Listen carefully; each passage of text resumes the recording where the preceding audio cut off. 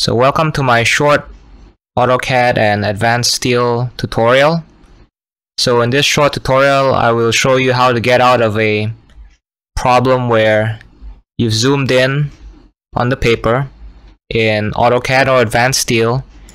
You double click, but when you try to zoom out to see the paper on its own, you're just zooming out into an endless white space over here. So the easiest way to deal with this issue is to go down to the bottom bar over here and click on model over here.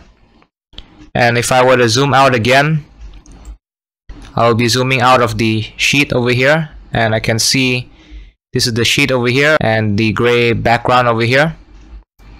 So again, if I click on paper, I can navigate in the model layout over here if I double click outside, then I'm navigating in the paper space. And that's it for today's short AutoCAD and Advance Steel tutorial. Like this video, share this video, and subscribe for more content. And as always, stay safe, keep learning, and goodbye.